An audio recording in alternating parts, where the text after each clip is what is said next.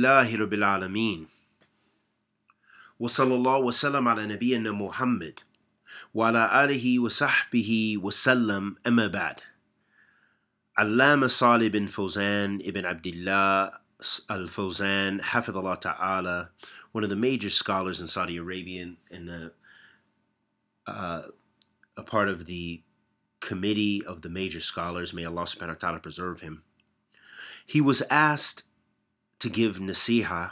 The question was, nasihatu fi zaman fi zaman kathrat fiha al fitan. You know, what is your advice during this time where there is so much fitan, so much, so many trials and tribulations? Or here's the exact question: بماذا تنصحنا في هذا العصر الذي كثرت فيه الفتن وانتشر أهل البدع والموت العلماء. The Sheikh was asked, What do you advise us in this time where there is so many tribulations and there's the spread of the people of innovation, Ahl Bid'ah, and the death of the scholars?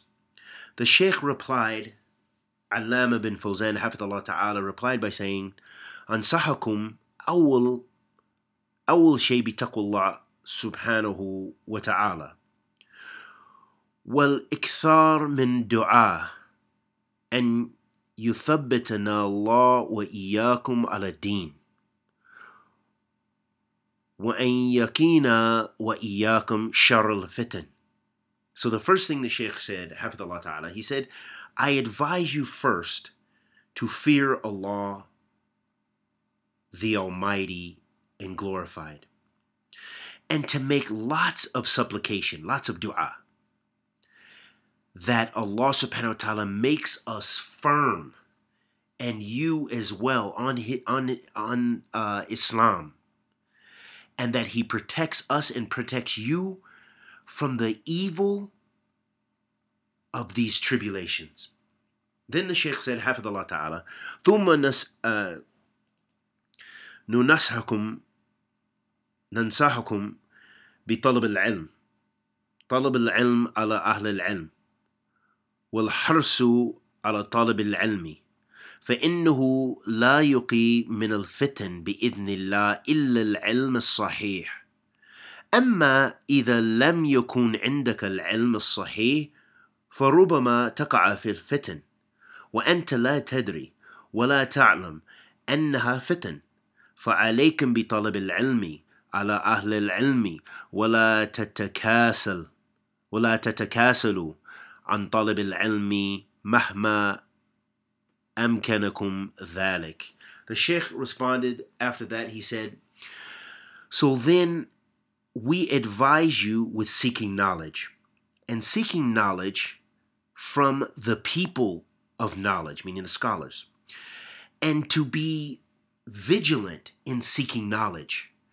for verily, there is no other way to save yourself from fitan and trials without the permission of Allah except through sound knowledge.